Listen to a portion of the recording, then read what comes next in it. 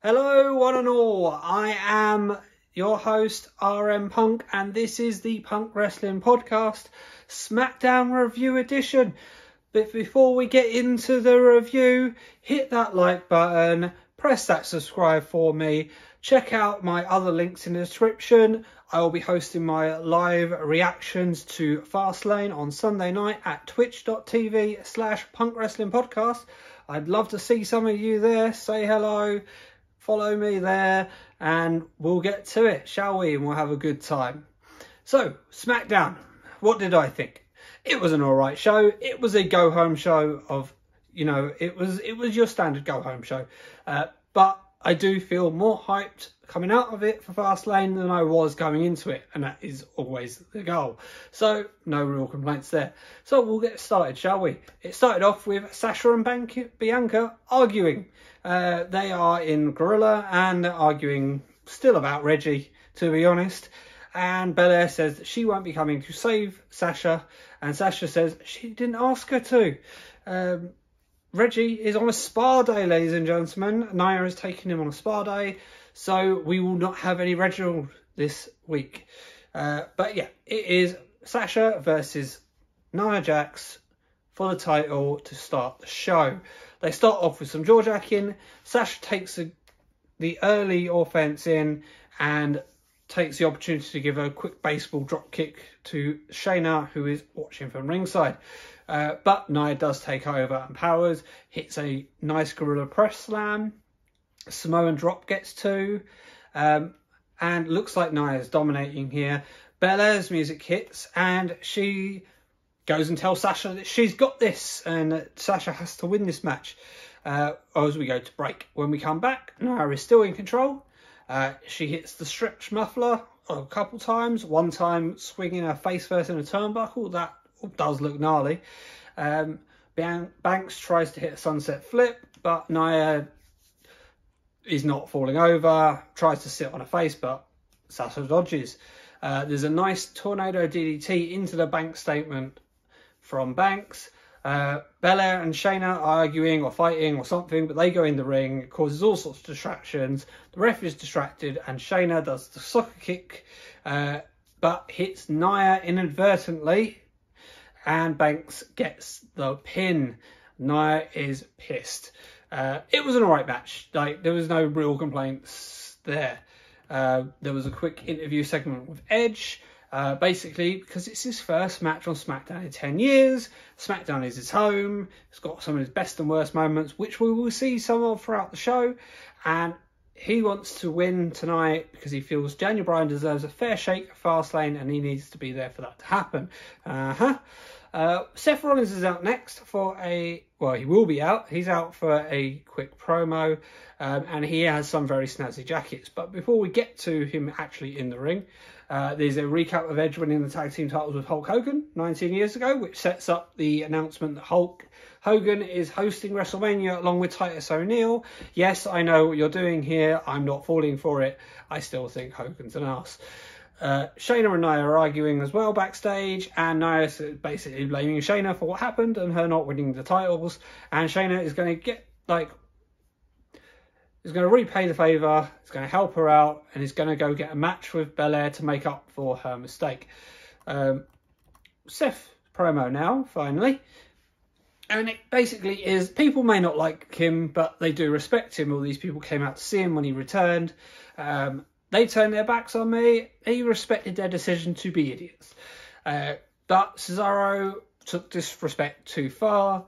Um, he's uh, embarrassed me, humiliated me, and the reason for that is he's jealous of me and my success, whereas he is a abject failure. Um, Seth says he's a fighter. Um, when he gets knocked down, he gets back up. Unlike Cesaro, cue recap. Uh, Seth is joking that Cesaro having to like is having a hard time getting up uh, because of all those years trying to reach for that brass ring. Yeah, I see what you did there too. Um, says that Cesaro swung him 22 times and he's never going to do that again because he's Seth freaking Rollins and you're the biggest waste of potential in WWE. Cue Nakamura. We get Nakamura in the most Nakamura way. Um, Seth is Jill Jackie talk about disrespect, warning Nakamura to not come in the ring. Uh, Nakamura takes the mic and just says, shut up. And then it's a nice kick, and Rollins starts to run away. We get the come on, and Rollins comes back, and he say Kinshasa for his trouble. And we will be having Nakamura versus Seth Rollins at Fastlane, I do believe. Oh, yes, please. We, so we're getting Seth versus Nakamura. That will be great. And it looks like we're going to get Seth versus Cesaro at WrestleMania, which will also be great. We're in a good time right now. Uh, but next up, we get a bit of tag team action going. We get Street Profits versus the Mysterios with the Dirty Dogs on commentary. This was a short but pretty fun match. In the end, Dom does win with a roll up, and the commentary was blah blah blah blah blah. Gable and Otis come out. Gable is on the mic, and he's basically saying, you know, don't think that just because you beat Street Profits, you're ahead of us in the queue for the tag team titles and at one point calls Rey Shorty. Again, so what he did there. Uh, turns attention, they turn attention to the Profits, so Rey and Dom attack as we go to break. And when we come back from break, we have another tag match. We have Alpha Academy versus the Mysterios this time round.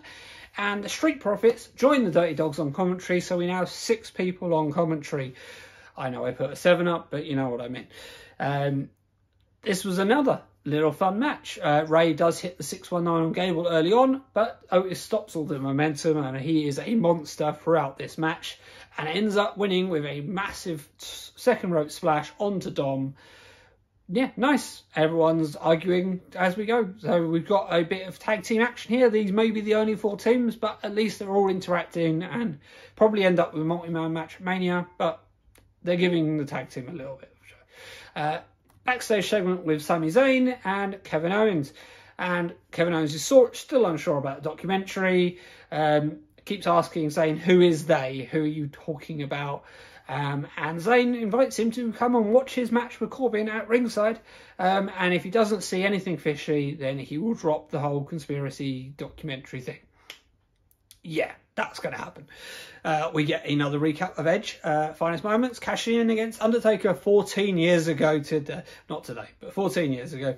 Uh, we get a Daniel Bryan promo, um, main event hype here. You know, basically, he knows exactly what will happen if Jey wins. He doesn't know what will happen if Edge, Edge wins because he does think Edge wants to face Roman at WrestleMania, so he could still screw him. Um, and he thinks that's because Edge thinks he can beat Roman, but Daniel Bryan knows he can beat Roman and he will make Roman tap out. And Roman comes out. And, you know, he's like, I can take your little white lies. You talk about being ambitious and blah, blah, blah, but you can't tap me out. Um, you have a better chance of shooting lightning out your ass or growing wings than tapping me out. I have never tapped out. I'm never going to tap out. Um, it says he'd rather lose an arm than tap out, and he'd rather die in the ring than to tap out to a person like you. Very nice stuff here. Um, and Daniel Bryan says, You're lying, all this head of the table stuff, all that, you're delusional. And everyone thinks they're unbeatable until they're beaten, and everyone thinks they're untappable until they have to tap. Um, and he says, I hope you don't die, but whether you tap or don't tap, I'm beating you up, I'm breaking you down Fastlane we get a video package for Corbin versus Zayn in the match that nobody asked for. No, really, that was in the video package. This was a. They also mentioned that this was the least anticipated match in the history of SmackDown. The irritating force meeting the unlikable object. SmackDown did a funny. This was good. I liked it. It was fun. Uh, we get a Logan Paul reference before the match because everyone loves Logan Paul, don't we? Yeah, of course. Yeah. Yeah, I know who that is. Honest.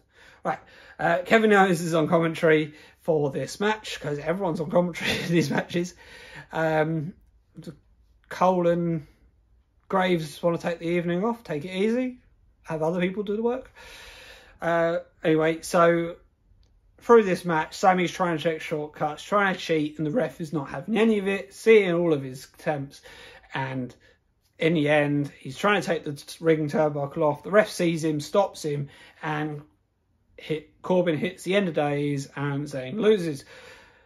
Uh, Kevin didn't see any evidence to support Zayn's claims here. Um, and Zayn's in his face, did you see that? Did you see that? And he's like, yeah, I saw it. Like the ref made good calls. You were cheating.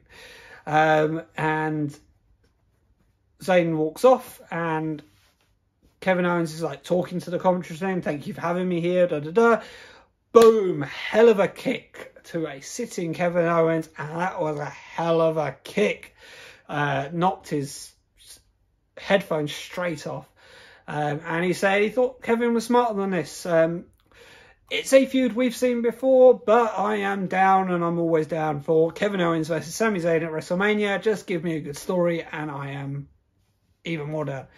Talking of stories I'm down for, the next bit was a sit down split screen interview with Big E and Apollo. Uh, Big E uh, says that, any chance of reconciliation, uh, reconciliation is over. Uh, it's all about vengeance. Uh, it's two days till Fastlane, and if I was you, I'd enjoy your last moments of normal function of your limbs. Uh, the future for you is bleak, and I'll retain no question, and you'll get everything you deserve. And Apollo's turn, uh, what I deserve, what I deserve. Um, I'd be careful with this disrespect to Nigerian royalty.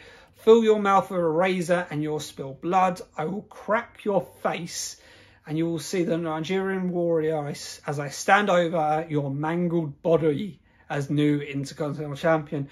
Um, this was good stuff, very good stuff. Um, he has had enough at this point and gets on a golf cart and drives around the golf cart looking for Apollo, and Apollo is looking for E, and we have a backstage brawl, ladies and gentlemen.